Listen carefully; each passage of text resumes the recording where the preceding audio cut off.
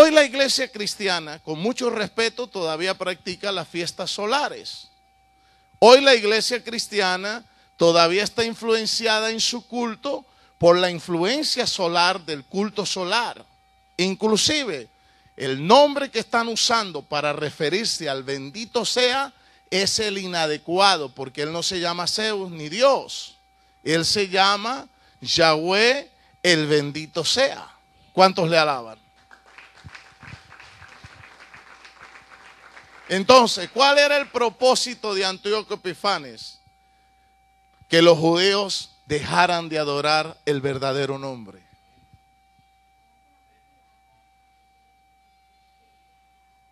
Acabar con la cultura y con la Torah.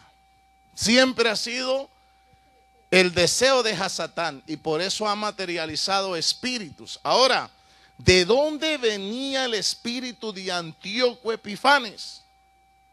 ¿Cuáles eran sus raíces? ¿Cuáles eran, ¿Cuál era su origen genealógico? Porque hay que pistear, hay que pistear el comportamiento, el espíritu de este hombre. 400 años antes del Mesías, se levantó una cultura. Se levantó una cultura allá por una tierra llamada Macedonia. Macedonia, de ese lugar, era nada menos que el papá de Alejandro Magno llamado Filipos.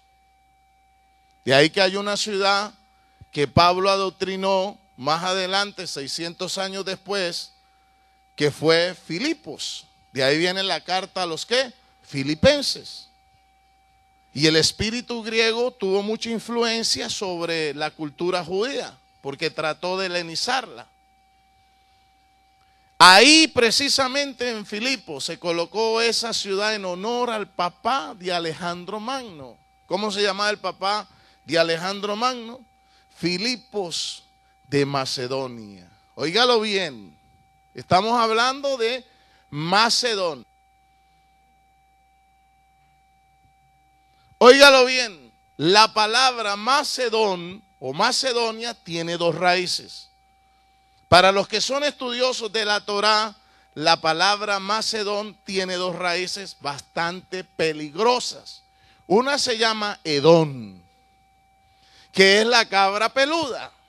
Y nosotros sabemos que la cabra peluda es nada menos que Esaú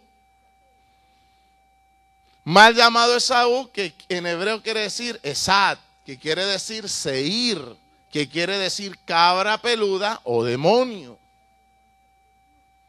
Por eso dice la palabra, ya están echándose más para atrás. ¿Quién era el que venía precisamente agarrándole la pata a Esaú? Jacob. Quiere decir que primero la cabra peluda se iba a ir adelante Hubo cuatro culturas que han dominado al mundo. Babilonia. Aló, óigalo bien. Persia, eh, Grecia y Roma. Y pareciera que los hijos de la cabra peluda estuvieran gobernando. Pero a lo último, los que van a gobernar sobre la tierra son los hijos de Jacob, Israel, de donde viene nuestro Mesías, y para ellos es el último y final y eterno gobierno en el mundo.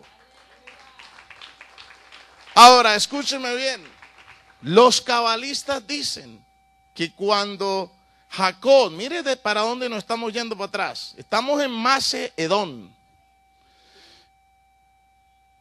Los cabalistas dicen que cuando Jacob le agarró el calcañar o el talón a Esaú, nada menos que estaba agarrando el espíritu de Edom que iba a gobernar en la bota itálica. La bota itálica es Roma, donde está el regente más poderoso del mundo y donde están la serpiente Lili, la cabra peluda, que son los hijos de Roma. Asael y todos los demonios tienen su guarida en la, bota itálica, donde está la ciudad de las siete eh, colinas, donde está el dragón con sus diez cuernos, con sus diez diademas, y de ahí va a gobernar el mundo, el último espíritu que se va a reencarnar en la tierra, proclamándose Dios. Pero dice la palabra que a lo último alguien va a tumbar ese reino y va a establecer el reino de justicia en la tierra. ¿Y sabe quién es? El hijo de Jacob, la estrella de Jacob, que es nada menos Yahshua Hamachía. Dice la palabra, pelearán contra el cordero, pero el cordero los vencerá. Y vi al dragón, a la bestia al falso profeta que fueron atrapados, amarrados y lanzados al lago de fuego. ¿Aló? Porque los destruyó con el espíritu de su boca. ¿Quién fue ese? El hijo de Jacob, la estrella de Jacob, nuestro Mesías, israelita, judío, llamado Yahshua Hamachía. ¿Cuántos aplauden ahora sí ese nombre?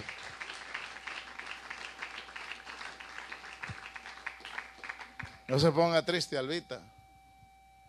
¿Cuántos están contentos? ¿Cuántos están entendiendo eso? ¿De dónde? Entonces, mire bien, Macedón. Macedón. De ahí vino Filipos, que vino a ser el papá de Alejandro Magno. Escúcheme. Macedón. Hay otro enemigo fuerte en la historia de Israel llamado Amalet. ¿Aló? ¿Sabe quién era hijo de Amalet? El que quiso destruir a los judíos en Persia. ¿Cómo se llamaba? Amán era hijo de Amalet.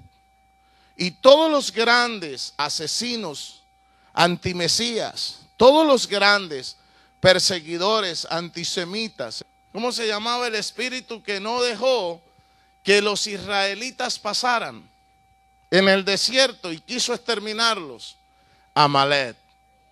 Y dijo Yahweh, yo tendré guerra de generación en generación con Amalet, porque Yahweh se dio cuenta que ese espíritu iba a reencarnar, que se iba a materializar, y después ese espíritu se unió con los hijos de Don y se juntó el diablo con la diabla, se juntó el macho peludo con Lili.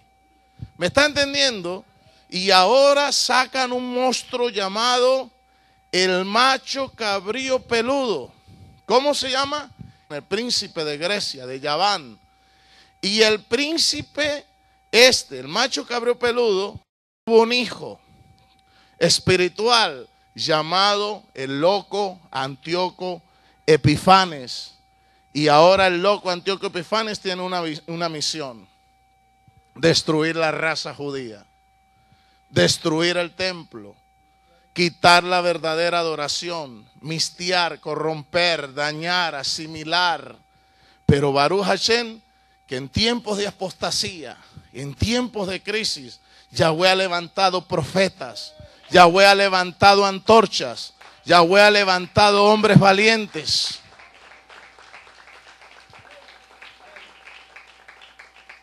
¿Usted está dormido o está despierto en el mundo espiritual? ¿Cómo está usted? ¿Está dormido o es un religioso? ¿O es una persona sin protagonismo?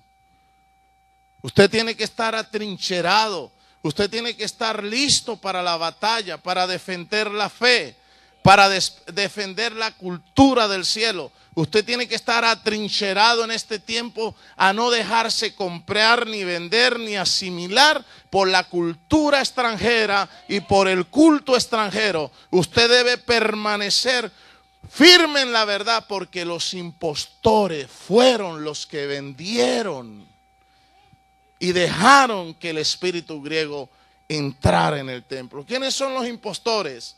Aquellos que dicen que aman al Señor, pero presionados por cualquier problema ceden y se dejan comprar y vender. Yo no creo que usted sea un impostor, yo creo que usted es un macabeo que quiere restaurar el culto, que quiere adorar al Padre en espíritu y en verdad.